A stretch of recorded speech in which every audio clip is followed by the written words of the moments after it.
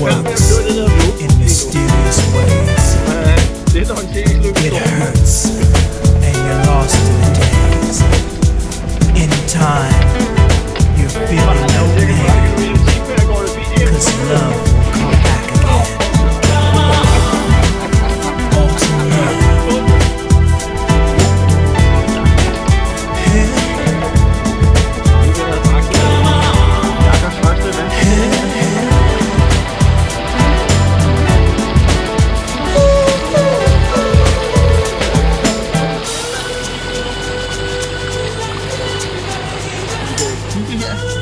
Og lige en anelse vand dernede i bunden.